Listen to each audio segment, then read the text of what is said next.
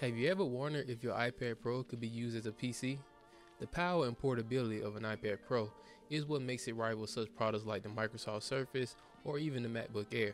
So today, I'll be giving a few reasons on why I think the iPad Pro could be a solid PC option for some. Just like a PC or laptop, you can connect peripherals such as a keyboard, a mouse, and speakers via Bluetooth to give you that full PC setup. And with the proper stand, you can place it right up on your monitor for a clear view. So hooking it up to a monitor just doubles the ability to complete tasks. Like a PC or laptop, you can read and send emails, check out company papers, and even with the Office 365 app on the iPad, you still get the same ability to create Word documents, PowerPoints, and even the sales sheets as you would on a PC. Say that you want to have two apps open at the same time. This is possible by dragging the second app that you want over the existing one on your screen. You can watch lectures or YouTube videos on one side and take notes on the other. But be aware that not all apps are capable of multitasking. But you can still have other apps running in the background for quick access if you need to switch back and forth. Now you won't have the full feature access as you would on the PC, but you'll get the same fundamental experience for basic tasks. I wish they had the iPad Pro back when I was college. Those five, probably six years would have gone by much smoother and I probably got done in four years. One big difference I think the iPad lacks compared to a PC is a proper file system, but most aren't using the iPad for that. So if you're on the go, you can easily store it in your backpack without turning it off or closing apps.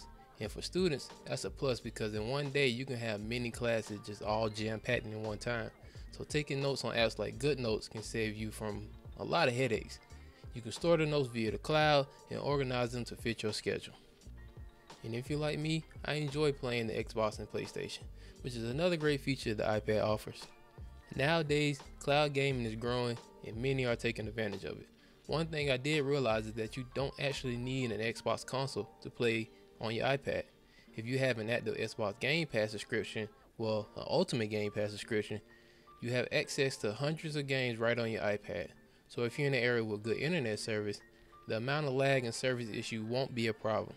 I'm still trying to see if PlayStation has a dedicated cloud app for the for the iPad, but for now I know you can still cache your PS5 or PS4 directly to the iPad.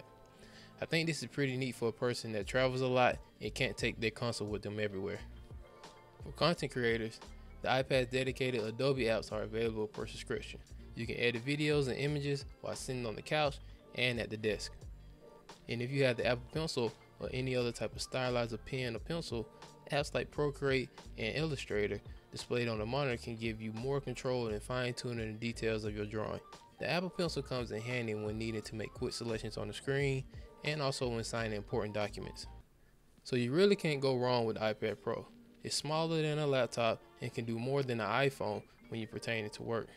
But if your work requires more power and features, then the PC might be a choice for you. I'm signing out right now. Remember to leave a like and subscribe if you haven't already. Catch y'all next time. Peace.